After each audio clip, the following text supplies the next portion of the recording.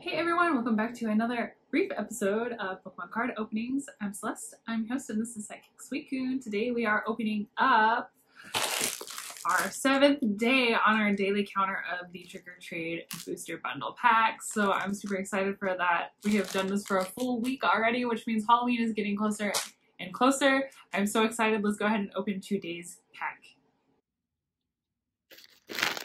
All right, we are diving right into day seven of our card opening.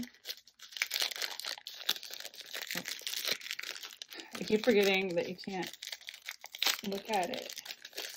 If we want to do the card trick, you have to do it right. All right, so we are pulling our holo to the back, which is two. To the back, we have our Hatenna. Oh, a Gastly. Perfect. Another Mewtwo. That's awesome. This is so cool. All right. See you next time. Oh, and before you go, tomorrow we're going to be doing something special, so stick around to see what that surprise is. Have a great day. Bye.